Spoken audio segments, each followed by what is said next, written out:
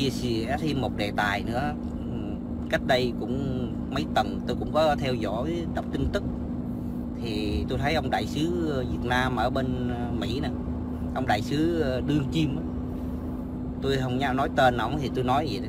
Tôi thấy ông ta lên, ông ta kêu gọi, bảo rằng là Việt Nam, chính sách nhà nước Việt Nam cần phải tạo điều kiện cho kiều bào, thế này thế nọ. Ờ, ông ta đưa ra những cái chính sách. Cần phải cởi mở hơn nữa để cho những kiều bào ở hải ngoại có cơ hội họ trở về Việt Nam. Những kiều bào trí thức, họ sinh sống, họ làm ăn, họ góp phần xây dựng đất nước. Thật sự mà tôi nói, anh chị các bạn, tôi đọc cái bài viết của cái ông đại sứ quán Việt Nam mình bên Mỹ, tôi cảm thấy hơi hơi buồn. bởi vì những người này, họ chỉ là những người cởi ngựa xem qua thôi. Họ chỉ chỉ là những người, gọi là, đại sứ quán. Họ chỉ là những sứ giả thôi. Họ chỉ đi làm công tác sứ giả thôi. Họ không có nhìn thấy được những cái sự thật phũ phàng ở bên nước Mỹ này đâu. Họ không nhìn thấy. Cho nên không cẩn thận, mấy ông này rất là dễ bị mất nước. Bởi mấy ông này có những cái tư duy bị đồng quá tại sao tôi nói vậy? Khi tôi xem bài viết của ông tôi lại suy nghĩ rất là nhiều. Tôi đọc tới, đọc lui rất là nhiều lần. Các bạn biết Việt Nam mình hiện nay có khoảng hơn 5 triệu người ở hải ngoại. Và ở trên đất Mỹ có khoảng 2 triệu, gần gần 2 triệu 200 ngàn người. Mà ông đại sứ này, ông nói rằng những cái người trí thức kiều bào ở hải ngoại, ở tại đất Mỹ này hiện nay có khoảng 200 ngàn người thì các bạn nghĩ đi, hơn 2 triệu 200 hơn khoảng 2 triệu 200 ngàn người mà có 200 ngàn người trí thức gọi là, kỹ sư, bác sĩ ờ, có những kiến thức sâu rộng cao, những người này cần phải đe- mời gọi họ đem họ về với quê hương. Tôi nói các bạn biết quên đi. Những người mà lãnh đạo Việt Nam nhiều khi họ không có hiểu được ở bên, cái người Việt ở bên hải ngoại này đâu, nhất là trên cái đất Mỹ này. Việt Nam cần phải phát triển kinh tế, tạo ra một cái từng lớp trí thức trẻ trong nước, giúp các em ở trong nước tiếp cận với nền công nghệ cao, để các em ở trong nước có được một cái nền tảng kiến thức sâu rộng. Còn những người kiều bào mà họ ra nước ngoài rồi, tôi nói chuyện các bạn, quên đi, đừng có ngồi đó mà mấy ông mơ 200 ngàn trí thức nhân sĩ đó trở về mà phục vụ đất nước. Khi nghị quyết 36 ra đời, chàng đất ơi, nó chửi Việt Nam không còn cái thứ gì luôn sau này rồi cái chương trình uh, mà gọi là đăng ký công dân. Yeah, là ơi mấy ông đâu có tham gia những cái cuộc chiến ở trên ờ, mạng hay sống ở bên Mỹ này. Mà nghe mấy cái tụi chống cộng ở hải ngoại mấy cái nhóm mà ngụy nô cái dám mà cờ vàng bao quay nó nó nó chống nó ác liệt luôn. Ngày nào còn tuổi này thì mấy ông đừng có mơ 200 ngàn nhân sĩ trí thức đó trở về Việt Nam. Tôi nói anh chị các bạn biết. Việt Nam từng kêu gọi trả 120 ngàn 120 triệu đô à, xin lỗi 120 triệu một tháng lương cho những cái người có trình độ kiến thức cao ở hải ngoại kiều bào về làm việc. Mà có đâu các bạn thấy có đâu. Mơ đi. À, từng kêu gọi mơ đi. Tại vì sao? Cái người Việt mình họ đã ra đi rồi họ đâu có ưa chế độ cộng sản đâu. Mấy ông quên đi Việt Nam là chế độ, là một thể chế cộng sản. Họ không có ưa tụi nó chống ghê hồn lắm. Nó qua hải ngoại rồi nó bị đồng quá hết trơn à. các bạn thấy có nhiều người mua nhiều đứa nó qua Mỹ mới qua đây thôi mọc đầu nó nó quay lưng, nó chống phá đất nước rồi. Mà ngồi đó mơ là 200 ngàn nhân sĩ đó, kiến thức đó nó sẽ về những người mà người ta kiều bào mà ta thực sự ta yêu quê hương đất nước đó. Người ta về một cách vô điều kiện và thầm lặng. Tôi nói anh chị bạn mà họ về thì sao? Họ có những cái quyền lợi của họ. Tại sao quyền lợi của họ là gì? Những cái kinh tế và đời sống họ thấy ở Việt Nam họ về, chứ không phải họ về hoàn toàn. Tại vì họ đã qua Mỹ, họ một rễ một gốc họ đã có những cái công ăn, việc làm, đời sống của họ ổn định rồi. Làm sao mà mấy ông kêu họ họ bỏ cái nước Mỹ này họ về được? Ngoại trừ chừng nào mà mà mà mà cái cái nước Mỹ này nó có cái biến cố gì đó, nó có cái biến cố gì xảy ra trên nước Mỹ này mà họ không kiếm được công việc làm á thì họ mới mò về Việt Nam thôi. Ờ, họ mới mò về Việt Nam thôi. Ờ, còn nếu mà mấy ông ngồi đó ca ngợi, để tôi sẽ post cái link của cái ông ờ, đại sứ quán này cho các bạn xem. Ổng ca ngợi và ổng ừ, yêu, muốn đòi hỏi là Việt Nam chính quyền nhà nước Việt Nam cần phải mở cửa, thông thoáng hơn. Mấy ông mơ đi, mấy ông ơi. Mấy ông không có hiểu được cái người Việt ở hải ngoại này đâu. Tôi nói thật đấy nhất là ở trên đất Mỹ mấy ông cũng có hiểu bằng tôi rồi, tôi sống với họ tôi biết. Tôi sống gần với họ tôi biết. Mấy ông qua họ qua tới bên này rồi họ bị họ sống trong mấy cộng đồng người Việt. Họ bị tụi nó nó nó nó nó nó, nó lôi cuốn theo xuyên tạc chống phá đất nước. Có nhiều người qua mới có mấy năm mà đã quên tổ quốc rồi. Tôi nói chị các bạn biết cái dân Việt Nam mình đó, họ đi ra nước ngoài rồi, buồn lắm. Tôi nói, không phải giống như những cái dân tộc khác. Cái người cái người Mexico họ kế Nam Mỹ, họ kế bên thằng Mỹ này các bạn biết họ qua bên Mỹ này họ sống. Nhưng họ luôn luôn giữ cái truyền thống dân tộc của họ rất là cao. Bởi vì những cái cộng đồng của người ta rất là tốt. Còn Việt Nam của mình chè đất ơi, tối ngày nó chống cộng, nó xuyên tạc, nó chống phá Việt Nam. Còn những cái người mà 200 ngàn mà mà mà mà kỹ sư kia trí thức đó đó, nhân sĩ đó đó họ đã phục vụ nước Mỹ rồi. Họ có lương bổng, họ có cuộc sống rất là ổn định. Họ đâu có dạy gì, họ về Việt Nam làm việc cho cái người cộng sản của mình. Họ đâu có, họ đâu có dạy gì. Họ đâu có dạy gì, họ bỏ con cái gia đình của họ. Phần nhiều là họ gì họ là con của chế độ cũ. Hiếm lắm, rất là hiếm. Tôi nói chị mà, đếm đầu ngón tay, đếm đầu ngón tay chứ không phải đòi nhà nước Việt Nam phải mở cửa tạo sự thông thoáng cho 200 ngàn người nó trở về. Mấy ông mơ đi. Vàng đất ơi mấy ông ngồi đó mấy ông mơ. Nó về nó nó nó, nó chui vô đó nó nuôi lòng căm hờn cái người cộng sản. Nó bị ăn sâu trong này rồi. Tôi nói ngoại trừ những cái hệ sau này những cái hệ hệ mà nó nó nó nói tiếng việt mà không còn rành nữa đó thì nó về rồi nó học lại, nó nhân bản hơn. Tại những cái mấy thế hệ nó nó nhân bản hơn. Còn mấy cái thế hệ như một năm như tôi á, con của chế độ cũ, mấy người mà con của chế độ cũ rồi, mấy ông mơ tôi nói thiệt á. Thì mình đi ngoại giao làm sao mình tạo cái điều kiện ờ, cho những người kiều bào họ có tấm lòng với quê hương họ về với đất nước.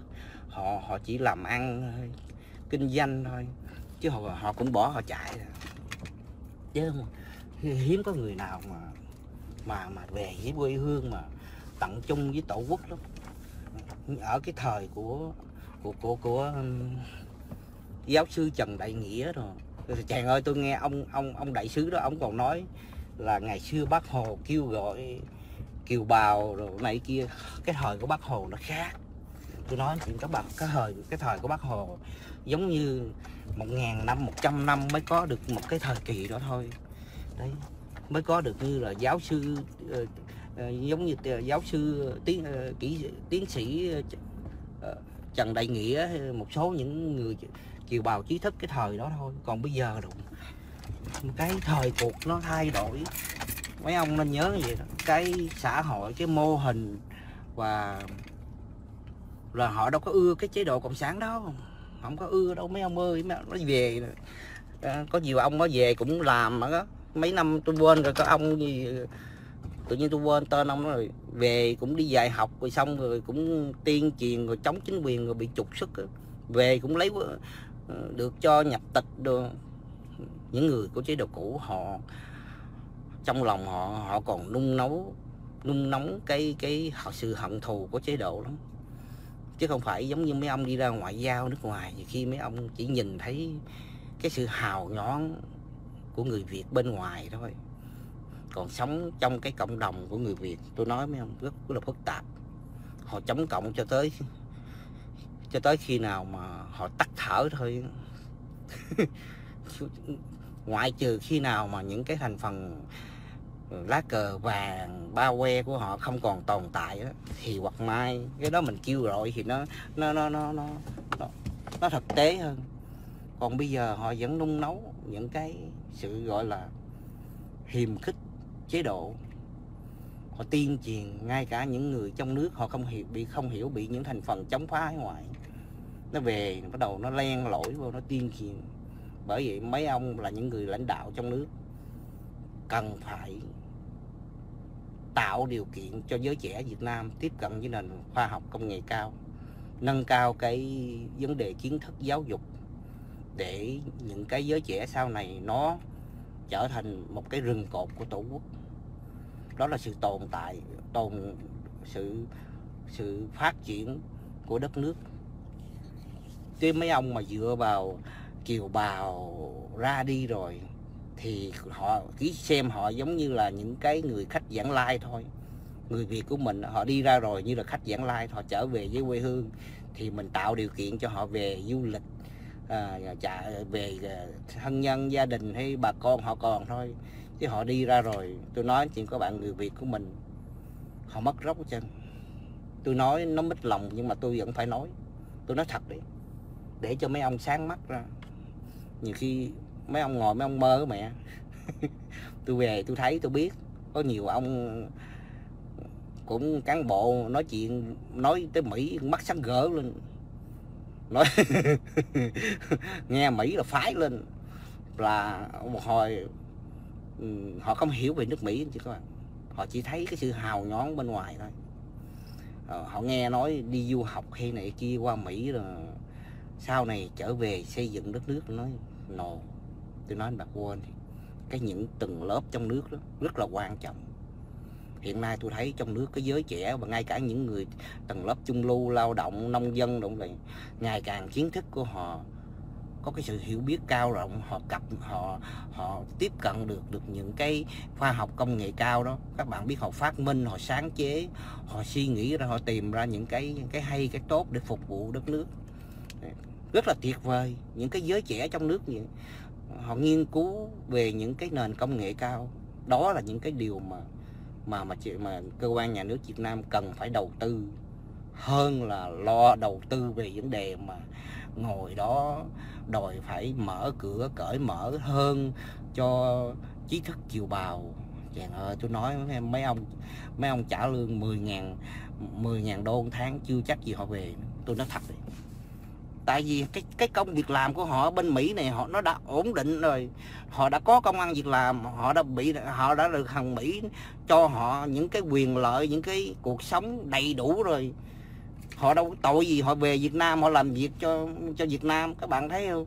Nó nó có nó có ổn định cho họ họ họ còn nghi ngờ chế độ ờ, trong đầu của họ. Ngồi đó mấy ông ờ, mơ rồi giống như kiểu như là muốn là phải mở cửa ra thông thoáng hơn cho những cái giới, giới trí thức về. Có lần tôi xem một cái bài báo của cái ông này là là là là chủ tịch của cái hội ờ, người Việt hải ngoại. Tôi đọc bài báo ông viết ông đòi chính quyền Việt Nam phải cho cái hội người Việt ở hải ngoại đó hội kiều người Việt kiều bào hải ngoại. Cái ông chủ tịch nè phải là một có một cái chân đứng ở trong cái ban um, ban tiên giáo thì phải. Trong một cái ban tiên giáo rồi tôi ngồi tôi nói má ơi mấy ông lo làm kinh doanh thì làm kinh doanh đi. Chuyện chính trị cơ quan nhà nước Việt Nam thì để người ta lo người ta lo. Mấy ông rồi đứng vô. Tôi nói cái cái cái mô hình xã hội Mỹ và Việt Nam nó nó khác biệt nhau nhiều lắm. Cho nên tôi nói như khi tôi đọc mấy cái bài báo của mấy ông mà cán bộ rồi tôi thấy mấy ông này tôi nói Việt Nam mà có chuyện gì mấy ông này là bán tổ quốc chứ. Tại vì họ không có nền tảng chính trị uh, rõ ràng và ổn định. Họ lệch lạc họ bị họ bị cái bọn tư bản nó nó nó cho họ ăn cái bánh vẽ về vật chất á nó quá lớn. Họ nhìn nước Mỹ họ nhìn cái cái cái hào nhón của phương Tây và cái xứ tư bản á, nó nó rất là vĩ đại. Dạ, nó là một cái gì đó gương mẫu các bạn biết nhưng mà họ chỉ nhìn cái bề ngoài nó như vậy thôi. Còn tôi thì tôi không nhìn như vậy. Tôi nói nó là cả một cái sự biệt bợm xảo trá.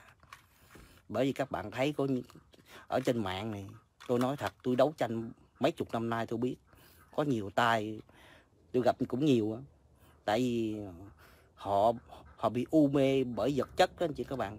Vấn đề mà chủ nghĩa tư bản đó, làm cho họ u mê. Tới chừng sau này rồi cái buổi sau này sống sống ở cái xứ tư bản một thời gian rồi mới nhận ra thấy được là mình đã bị hớ. Các bạn thấy không? Đấy. như bà bà Dương Thu Hương các bạn thấy thay vì ngày xưa mà họ theo bác và đảng mà tận chung tới ngày hôm nay các bạn thấy không? Đấy. người dân Việt Nam họ thương mến ờ, họ họ mấy người này mà có chết đó, dân Việt Nam người ta sẽ khóc hư thương tiếc. Đời của họ sẽ được lưu truyền. Các bạn thấy như ông Bùi Tính không? Bởi vì họ họ họ lo họ chạy trước. Thấy thấy cái sự biến cố trong cái khối cộng sản châu Âu rồi Nga Xô, Liên Xô rồi họ bỏ họ chạy bắt đầu họ quay qua họ chửi quê hương đất nước cuối cùng bây giờ các bạn thấy buổi xế chiều và những cái buổi mà họ họ họ ở cái cái đất tư bản họ bị giống như là nó nó lâu rồi đó. Bắt đầu họ mới thấy được cái bộ mặt uh, xảo trá của cái thằng tư bản. Ông bùi tính sau này cũng cũng hối hận nhưng mà trong muộn màng nhục nhã làm sao mà về được quê hương. Các bạn thấy ông, ông bùi tính sau này cũng muốn về lắm mà quá ư là nhục nhã. Chết ở xứ người trong thầm lặng giờ bà dương thu hương lâu lâu phát biểu vài câu các bạn thấy tụi chống cộng nó dùng bả xong rồi thì nó cũng bắt tranh nó cũng bỏ bỏ thôi. Nhiều lắm các bạn ơi. Bởi, có nhiều tay. Tại vì họ không có cái lập trường về vấn đề chính trị. Các bạn biết họ không có cái lập trường. Hàng tư bản này nó nó nó mị dân lắm. Nó, nó bỏ ra những cái vật chất đó nó cho ăn mê mê. Các bạn thấy những đứa trẻ ở bên Mỹ này cũng vậy? Sanh ra mà cha mẹ mà không có dạy dỗ không có quán xuyến nó nó đi học đến trường mà mình lơ là đó là các bạn biết những cái băng đảng những cái băng đảng mà xì ke ma tí đó, mới đầu nó cho con mình đó, nó đến nó cho thử thử xong rồi nó cho không lấy tiền tới chừng nghiện ngập bắt đầu là theo nó. Hàng mỹ hàng tư bản này cái nó cũng vậy thôi. Nó cho nó cho ăn nó cho ăn rồi bắt rồi ghiền ghiền nó. Bởi vì các bạn biết tại sao hồi cái thời của ông lý quang diệu á tụi mỹ nó đem mấy cái máy game á nó qua nó cho ổng đem qua nó cho ổng ổng nói no tụi bay đem cái này qua đầu độc dân tao. Ông nói no. Nó dụ à, nó thả cho ăn. À, nó đem đồ tới. Hồi xưa nó lấy cái bắc mỹ này cũng vậy. Mới ban đầu nó đem xì ke ma tí rượu bia whisky rồi nó dụ mấy cái thổ dân dân da đỏ đó tại người ta sống thật thà người ta sống với thiên nhiên rồi nó đưa súng đạn bắt đầu ghiền theo nó rồi mất mất đất mất từ từ từ từ thằng tư bản mỹ này.